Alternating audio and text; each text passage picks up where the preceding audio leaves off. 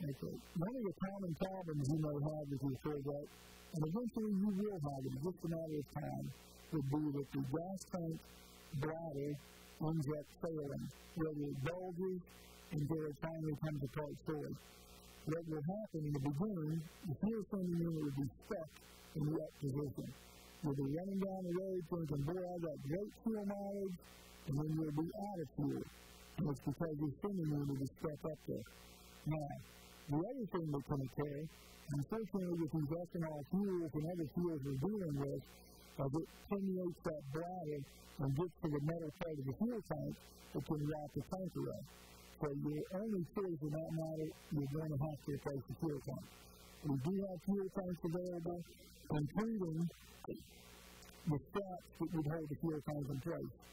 And you probably want to go with these new fuel tank straps because it'll be much easier to put back in and to, when you get corroded and uh, to remove bolts and fasteners.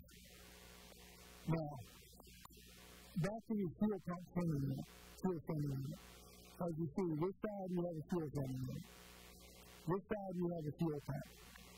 Just about every fuel Corvette with 100,000 miles will need a fuel sending unit because the fuel sending unit fails from fuel operation and or the pump fails. Now, you're probably thinking, why would I replace the fuel unit? Why don't I just replace just the pump?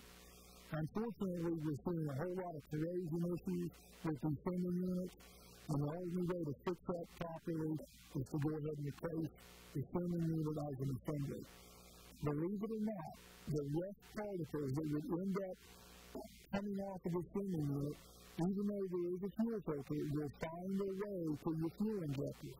And we're talking about a whole lot of money compared to the cost of sending. So the best policy, replace the unit as an assembly.